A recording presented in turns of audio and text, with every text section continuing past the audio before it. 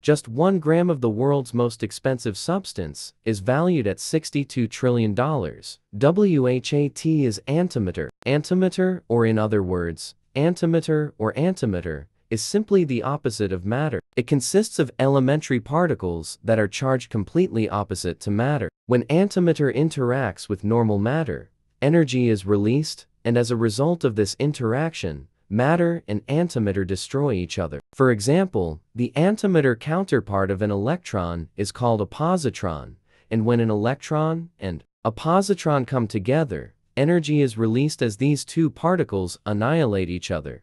Antimatter formed along with normal matter after the Big Bang. Although its cause is not fully known, it is quite rare in the universe. As we learned from Hanks' movie, antimatter can cause a massive explosion when it comes into contact with matter because opposing forces are not compatible. Why is antimatter expensive? Antimatter produced using CERN's Large Hadron Collider LHC is extremely rare and extremely expensive and difficult to obtain. NASA scientists determined the cost of producing just 1 gram of antimatter in 1999 to be $62 trillion.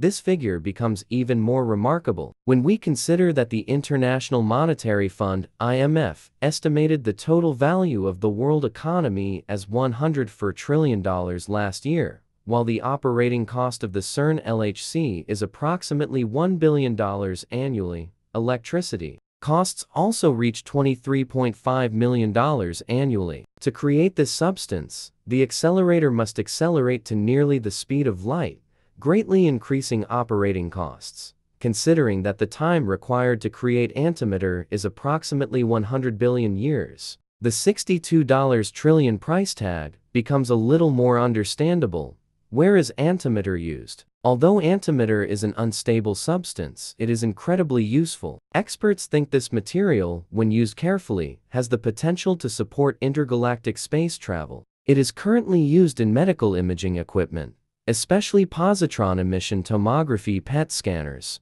Positron emission tomography PET in medicine.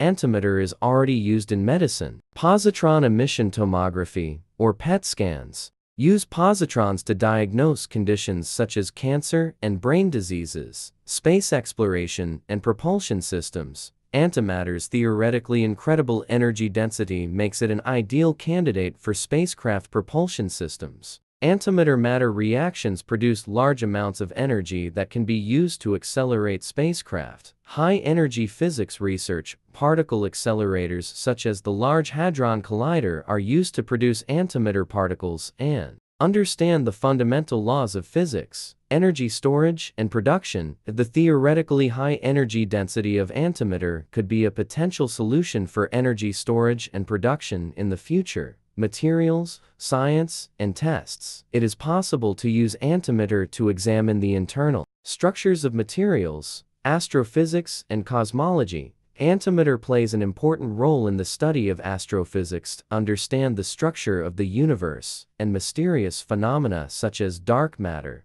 How was antimatter discovered? Theoretical Foundations 1928 the concept of antimatter was first proposed by British theoretical physicist Paul Dirac in 1928. Dirac developed an equation that unified quantum mechanics and the special theory of relativity. This Dirac equation suggested that the electron may have an antiparticle. This antiparticle would have the same mass and life as the electron, but the opposite electrical charge, Experimental Discovery 1932. The first experimental evidence of antimatter was provided by Carl Anderson in 1932. The first experimental evidence of antimatter was provided by Carl Anderson in 1932. Using a cloud chamber in his cosmic ray research, Anderson discovered the antiparticle of the electron later called the positron. The positron had the same mass and lifetime as the electron, but an opposite electrical charge, as Dirac predicted.